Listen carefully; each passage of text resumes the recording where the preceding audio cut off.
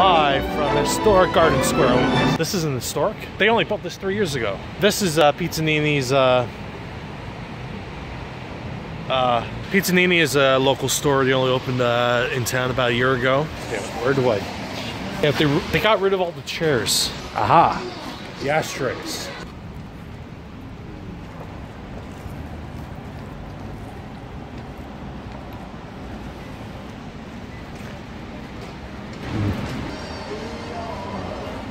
Honestly, I would totally recommend it if you were in the area. But the town hates tourism, so I doubt it. It's 650 for one of these and a water bottle. So definitely a good deal.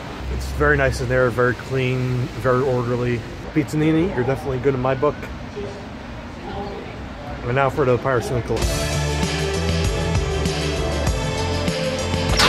I can't breathe in this thing!